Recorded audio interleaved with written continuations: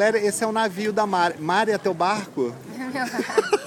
Contratei. Você contratou? É, essa, né, cenografia, direção de arte, eu liguei pra, pra Marinha Francesa pedi pra vir. Menino, que maravilha, que luxo, Você hein? não viu as roupas? E vai ser o tom, o tom da estação é tudo cinza?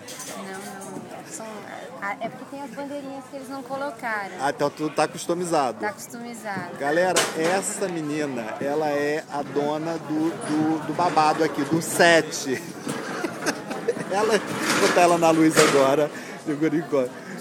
Mari Stockler, que cuida de todo o visual aqui do Fashion Rio. E aquelas gruas, você mandou também? Também posicionei elas à mão, eu mesma, no braço. No- Gra- e tudo, gente, tudo nos tons da estação, que são lá os beges e os ocres e aqui os cinzas. Paleta cromática.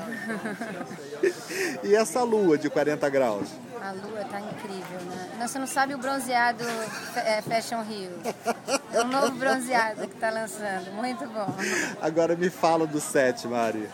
Então, a gente tem uma exposição de pipas de- duas artistas, da Ana Dantes e da Carol Veiga, é, que fica no Armazém 2. E as pipas é uma- são absurdas, o desenho das pipas assim, é um negócio que é inacreditável. O Dai Fujiwara veio para o Brasil, eu acompanhei ele fazer uma pesquisa aqui no Rio. E ele viu as pipas, ele pirou. É muito possível que venha uma coleção da ICMA que é inspirada nas Mas pipas. É que eu, eu dou maior força porque eu enlouqueci quando eu conheci. Eu fui criado em fazenda no, no sul. Quando eu vim pro Rio, eu fui aprender a soltar pipa com meus primos, correr em cima de muro e fazer cerol. É uma cultura super carioca. Exatamente. Moer vidro, passar, passar o vidro numa meia de nylon, cozinhar cola de madeira com pó de vidro, esticar vi- a linha de um poste ao outro e com a mão grudar com cerol. Essa é a receita para as pipas do seu Miyake. Agora, não, se você, assim, impressionante, você vê o Atos Vulcão ali, todo o movimento neoconcreto, você vê o Hélio é inacreditável. E as redes, isso que você está falando, as pipas das redes, tem tudo a ver com conexão, né? Conexão de meninos, conexão de pessoas, né? Tem tudo a ver. Maravilha.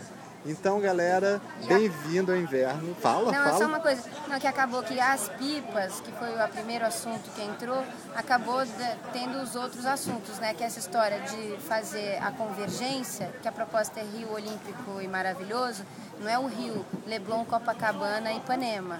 Então é o Rio de, que tem essas palavras lindas, que são indígenas, que são africanas, a Gamboa, a Cari, tem os, os nomes dos morros, né? Faz quem quer. Tem um, morro- um lugar que chama Faz Quem Quer, Boogie Woogie. Não, tem nomes incríveis. E aí tem essas Encantado. urbas. Encantado. Encantado. Tem nomes que você não acredita de perfeito. tanta beleza. assim. Então, uma ideia de convergência também da cidade, não é só a Zona Sul. Maravilha. E mais alguma coisa assim é, de- da- das, das exposições? E... Então, aí a gente tem o, lançamento do projeto Rio Eu Te Amo, no Armazém 3, que tem essa história do Rio plural, né? E, e uma van é, com uma equipe de cinema está em todas as zonas do Rio Oeste, Norte, Sul, Zona Portuária, fazendo entrevistas e as pessoas fazem depoimentos. Aí tem um grande mapa que você vê essas pessoas e essas falas das pessoas e também tem todo o conteúdo do no, no, é, Paris t'aime, do Nova York I Love You e, a- e o projeto Rio Eu Te Amo que vai ser lançado. Ueba! Então, isso é só. Tá mega quente o inverno, né? É, Então, é o inverno infernal. Um beijo, meu amor. Muito tchau, obrigado. Tchau, até mais. Tchau. Olha, olha a Mari saindo no seu patinete. Patinete, galera. A Mari tá de patinete.